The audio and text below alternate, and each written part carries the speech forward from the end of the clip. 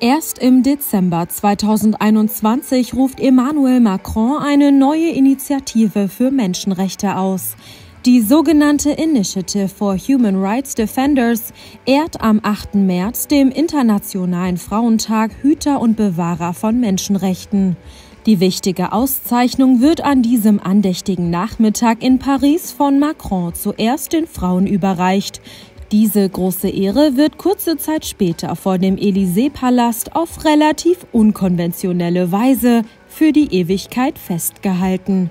Und so entstehen diese herzlichen Schnappschüsse, die die glücklichen Gewinnerinnen zusammen mit dem breit grinsenden Hahn im Korb zeigen. Seine Frau Brigitte ist ebenso mit im Bunde und schmiegt sich für das Selfie liebevoll an ihren Mann. Ob die französische First Lady vergessen hat, dass es sich bei der geplanten Aufnahme um ein Gruppen- und kein romantisches Pärchenfoto handelt? Es scheint fast so. Denn anstelle von ihrem Emanuel wegzuweichen, kuschelt sich die 68-Jährige noch näher an ihren Gatten und legt verliebt den Kopf auf seine Schulter. So ungezwungen und herzlich vernarrt sehen wir die Macrons am liebsten.